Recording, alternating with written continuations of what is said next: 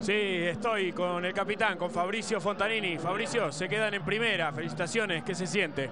Sí, gracias a Dios cumplimos el objetivo. La verdad que duro, eh, porque la luchamos hasta el final.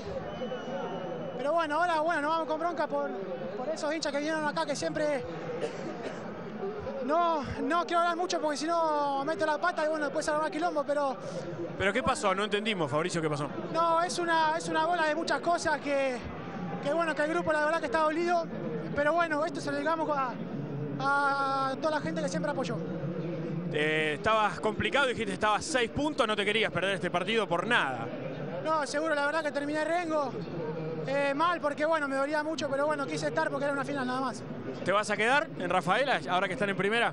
No sé, la verdad que no sé, ahora, ahora quiero estar feliz por este momento y bueno, después pensar en eso. Felicitaciones, Fabricio, gracias. No, muchas gracias a ustedes. Chau, chau.